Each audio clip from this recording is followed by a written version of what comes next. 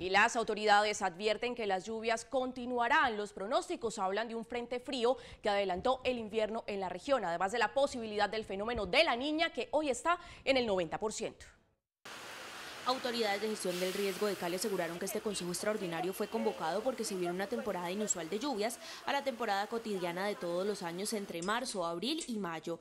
Se le agrega el fenómeno de la niña, además de que habrá un 30% más de precipitaciones. Sepamos que con la confluencia de la probabilidad de ocurrencia de la niña más la temporada de lluvias que está iniciando, tenemos que tener los canales, los sumideros, las capacidades de los municipios, las zonas de alto riesgo identificadas cubiertas.